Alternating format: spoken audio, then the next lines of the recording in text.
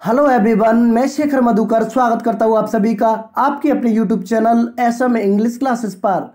Friends आज हमारा daily use English sentences का लेक्चर नंबर है four and I have already uploaded three videos in this series और इस सीरीज़ में मैं आपके लिए तीन वीडियोस ऑलरेडी अपलोड कर चुका हूँ। जिन तीन वीडियोस में हमने कुछ बेहतरीन सेंटेंसेस को डिस्कस किया था।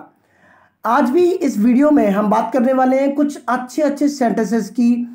जिन सेंटेंसेस को अगर आप अपनी डेली लाइफ में यूज़ करते हैं तो वे आपकी स्पीकिंग में चार चाँद लगाने का काम करेंगे। तो चलिए फ्रेंड्स ज़्यादा टाइम वेस्ट नहीं करते और आगे बढ़ते हैं, देख लेते हैं आज का पहला सेंटेंस और पहला सेंटेंस आता है आपकी स्क्रीन पर, ये। मैं तुम्हें बर्बाद कर दूँगा। देखिए कितना प्यारा सेंटेंस है। मैं तुम्हें बर्बाद कर दूँगा।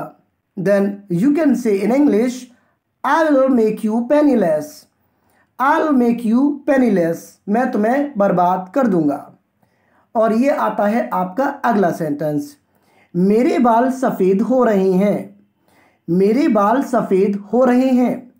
आप हिंदी में अक्सर बोलते हैं, लेकिन अब आपको इंग्लिश में बोलना है my hair is turning grey my hair is turning grey मेरे बाल सफ़ेद हो रहे हैं।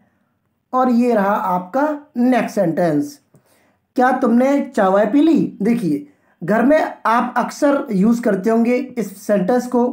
क्या तुमने चाय वाय पी ली? तो चाय का तो समझ में आता है लेकिन वाय क्या है? ये हमें अक्सर कन्फ्यूज़न रहता है। तो आपको कैसे कहना है इंग्लिश में? Have you had tea and all have you had tea and all क्या आपने चाय वाय पी ली? देखिए कितना खूबसूरत ये सेंटेंस है। और आ गया है अगला सेंटेंस आपकी स्क्रीन पर।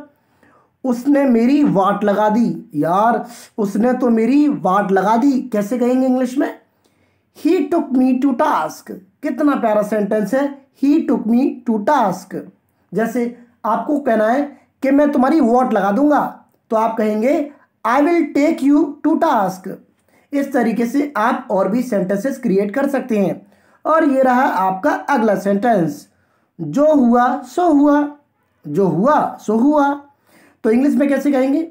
What is gone is gone what is gone is gone जो हुआ, सो हुआ। What is gone is gone और बढ़ते हैं, आगे देख लेते हैं अगला सेंटेंस मेहनत हमेशा रंग लाती है।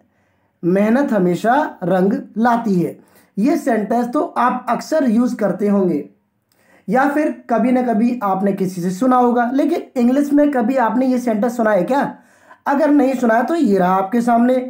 Hard work always pays hard work always pays मेहनत हमेशा रंग लाती है। और ये बात आप सभी को भी पता है। चलिए फ्रेंड्स आगे के सेंटेंस को देख लेते हैं। आँखें सब कुछ बयां कर देती हैं। ये बात तो भाई फैक्ट है बिल्कुल। इंसान चाहे कैसा भी हो, लेकिन उसकी जो आँखें हैं सब कुछ बयां कर देती हैं।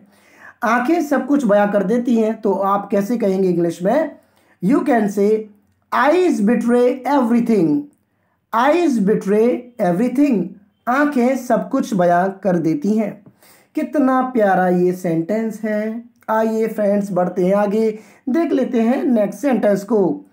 वह अपने आप से मतलब रखती है। देखिए कुछ लोग ऐसे होते हैं कि उनको दुनियादारी से कोई मतलब नहीं होता। वो अपने आप में जीते हैं। ठीक है तो कभी कभी हम बोलते हैं, वह अपने आप से मतलब रखती है, या फिर मैं अपने आप से मतलब रखता हूँ। तो ऐसे सेंटेंसेस आप खुद क्रिएट कर सकते हैं। फ़िलहाल इसकी इंग्लिश डाल लेते हैं।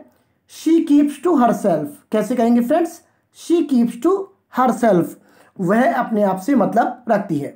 देखिए, कितने प्यारे, प्यारी ये सेंटेंसेस है। अगर आपने इन सेंटेंसेस को अपनी स्पीकिंग में यूज़ कर दिया ना तो समझ जाएगा फ्रेंड्स आप जो जिससे बात कर रहे हैं सामने वाले बंदे से, सच में बता रहा हूँ, उस पर इतना बड़ा इफ़ेक्ट पड़ेगा कि वो भी कहेगा, वाह यार, क्या इंग्लिश बोलते हो? चलिए फ्रेंड्स अगले सेंटेंस को देख लेते हैं।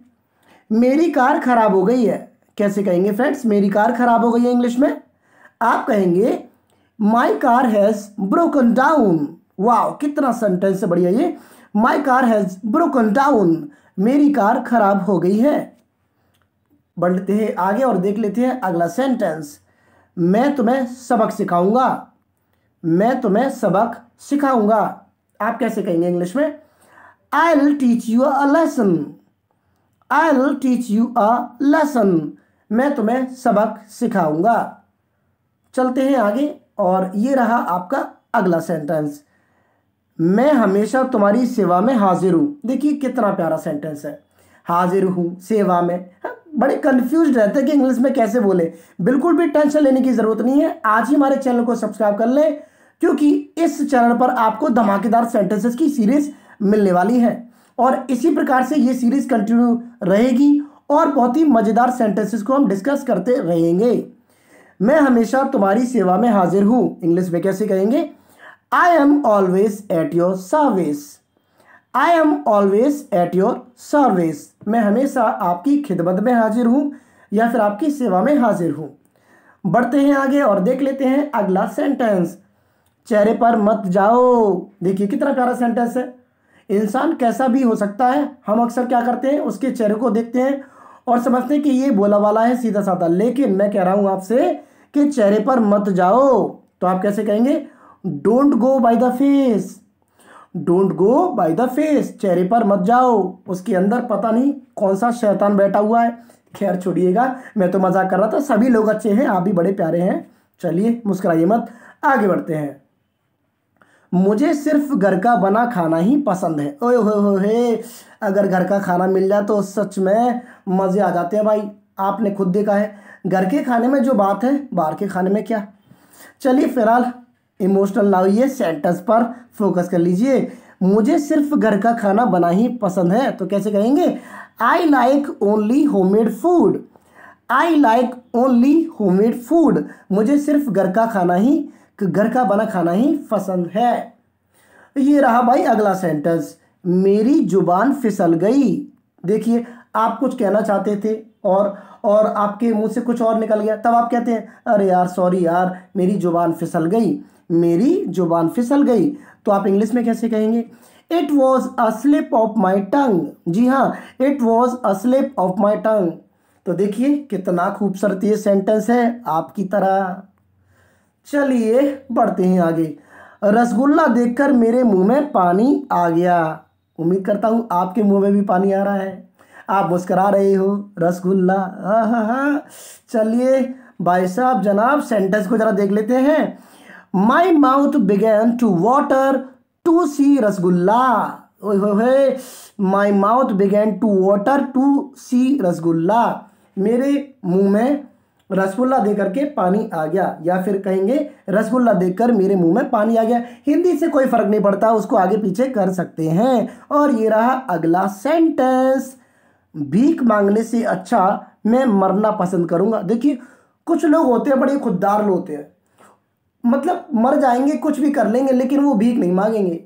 और ऐसे ही लोग सचमुच में बहुत बहादुर होते हैं। भीख मांगने से अच्छा मैं मरना पसंद करूँगा। तो आप इंग्लिश में कैसे कैसे कहेंगे? I would rather die than beg यहाँ पर बैग का मतलब भीख मांगने से है। I would rather die than beg यानी कि मैं मरना पसंद करूँगा, लेकिन भीख नहीं मांगूँगा। ये रहा आपका अगली सेंट अगला सेंटेंस फ्रेंड्स वह नामी डाकू है। देखिए, आपने देखे होंगे, कुछ लोग होते हैं, कुछ डाकू हैं जो काफ़ी फ़ेमस हैं। उनका नाम अगर आ जाए सामने तो आपको फटाफट से याद आता है, यार, ये तो वही डाकू है। कुछ लोग ऐसे होते हैं। खैर, आज के ज़माने में नहीं होते, और होते हैं उधर धौलपुर साइड में। खैर, हमें क्या करना हमें तो अंग्रेज़ी सीखने भाई, अंग्रेज़ी पर फोकस कर लेते हैं। वह नामी डाकू है, कैसे कहेंगे इंग्लिश में? आप कहेंगे he is a notorious dacoit he is a notorious dacoit वह नामी डाकू है। चलिए फ्रेंड्स आगे बढ़ते हैं। मैंने पार्टी में मन भर के खाया। या फिर कभी कभी कहते हैं, मैंने पार्टी में जी भर के खाया। तो आप कैसे कहेंगे इंग्लिश में? I ate to my heart content at the party जी हाँ आप एट द पार्टी भी कह सकते हैं और इन द पार्टी भी कह सकते हैं।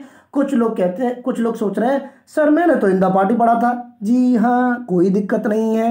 एट द पार्टी और in the party both are equally correct जी हाँ तो आप कह सकते हैं I ate to my heart content at the party मैंने पार्टी में मन भर के खाया था। चलिए, ये रहा अगला सेंटेंस अंधेरा बढ़ता जा रहा है। जी हाँ अंधेरा बढ़ता जा रहा है। कैसे कहेंगे? आप कहेंगे it is getting dark it is getting dark अंधेरा बढ़ता ही जा रहा है। चलिए फ्रेंड्स ये रहा आपका अगला सेंटेंस मेरी खुशी का ठिकाना नहीं रहा। देखिए कभी कभी आपके सामने कुछ ऐसा वाक्य हो जाता है, जब आप खुशी में इतने मग्न हो जाते हैं तो आपको कोई होश ही नहीं रहता। हम्म तो आप बोल देते हैं इम्फोसाइज करने के लिए रे भाई, मेरी खुशी का तो कोई ठिकाना नहीं रहा। तो आप इंग्लिश में कैसे कहेंगे? My happiness knew no bounds my happiness knew no bounds मेरी खुशी का कोई ठिकाना नहीं रहा।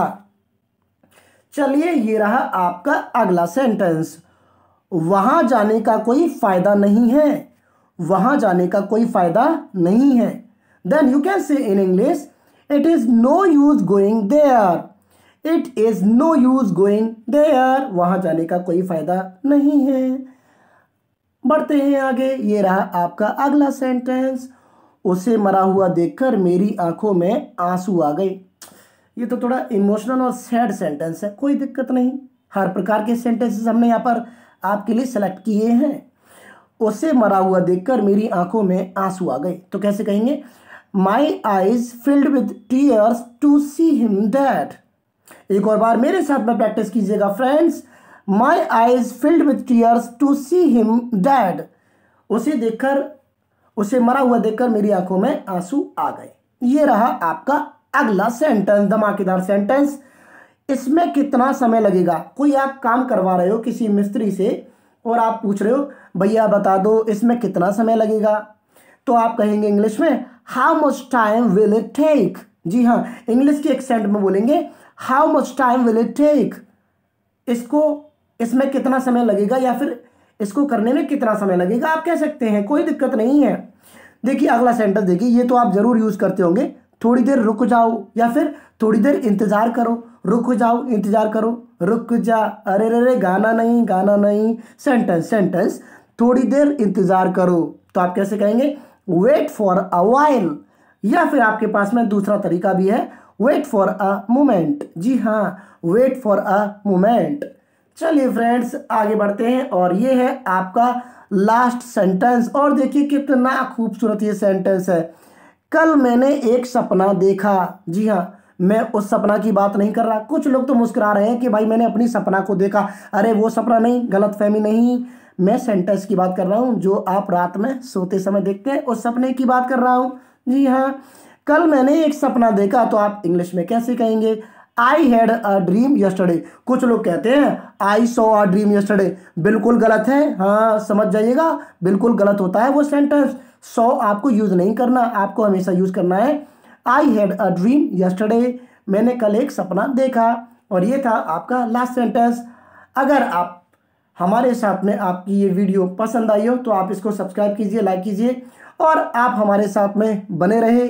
इस वीडियो को स्किप नहीं किया तो उसके लिए आपका बहुत बहुत धन्यवाद। जी हाँ एक बात और बता रहा था वीडियो को ज़रूर सब्सक्राइब कर दीजिएगा, अगर आप चाहते हैं कि इसी प्रकार के सेंटेंसेस आपको डेली मिलते रहें। मिलेंगे अगली वीडियो में till then take care bye and जय हिंद।